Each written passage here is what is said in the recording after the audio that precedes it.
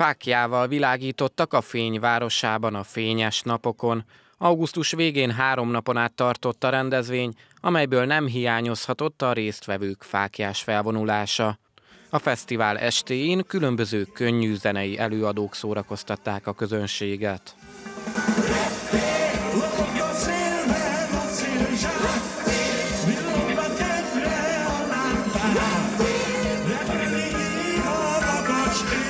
Korda György és Balázs Klári koncertje több ezer embert vonzott Máté a legjelentősebb közösségi rendezvényén.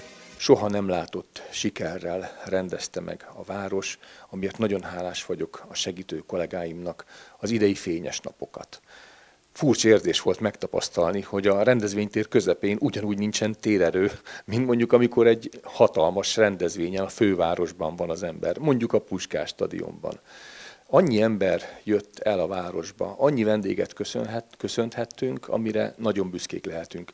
És hát utána pedig, ahogy elmentek Máté Szalkára, és ahol lehetett hallani Máté Szalkán túl, a megyében, Hajdubihar megyében, az országban, hogy ez egy fantasztikus rendezvény volt, ami, ami, amire méltán lehet büszke a város és a térség. Szóval ez egy, ez egy nagyon szenzációs élmény volt számomra ennek a részese lenni. A fejlesztések területén is volt minek örülni. Októberben adták át Máté Szalka új bölcsődéjét.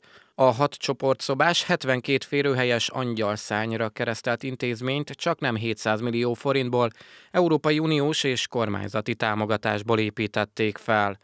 Elkészült időközben a város új kispiaca is, a hatósági eljárások után ezt tavasszal vehetik birtokba a helyiek. Az egész térségben nincs olyan bölcsőde ezen az új bölcsődén kívül, ahol a fogyatékkal élő gyermekeknek és szüleiknek is tudnak segíteni.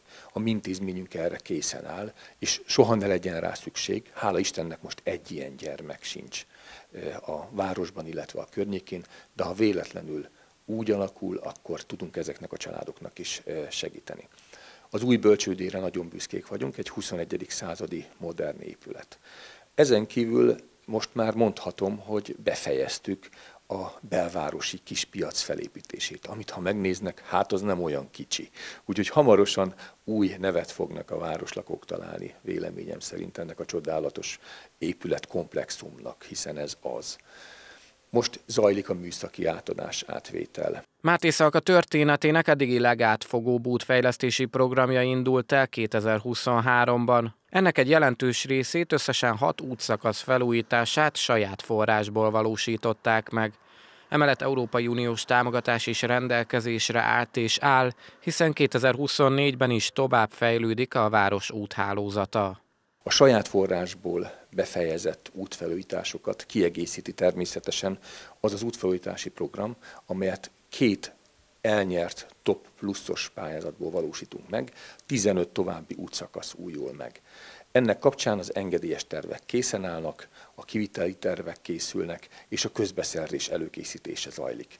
Tavaszra szerződést kötünk, és reményeink szerint március közepén, végén, ahogy az időjárás engedi, indulhat a jogszabályok alapján a munka, ugyanis addig nem lehet jogszerűen utat építeni Magyarországon. Más típusú fejlesztések is megvalósulnak 2024-ben Máté Szalkán. Hamarosan egy hatalmas új és innovatív játszóteret alakítanak ki a Gólyakerti tó mellett, megújul a Hild János Park, valamint a Kegyeleti Park is a városban.